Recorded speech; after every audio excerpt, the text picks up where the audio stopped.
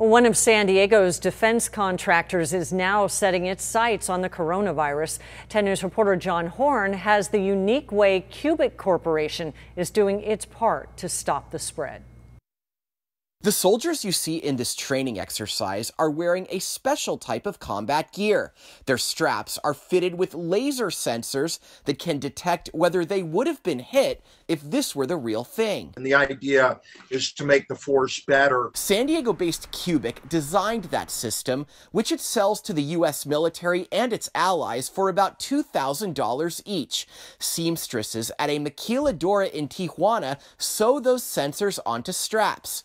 Now, now, they're doing something much different with those same hands, making a product that costs less than $4. The mask uh, is in cubic blue, so that's terrific. Cubic Chief Executive Brad Feldman says the company can make up to 6,000 a day if it staffs up.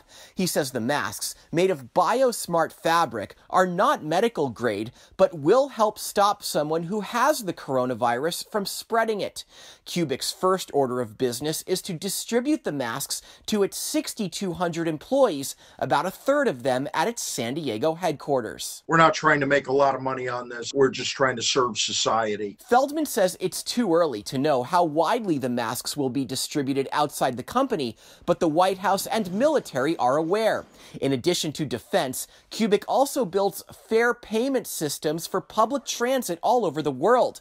Those organizations also potential customers for the masks to help stop the spread. John Horn, 10 News.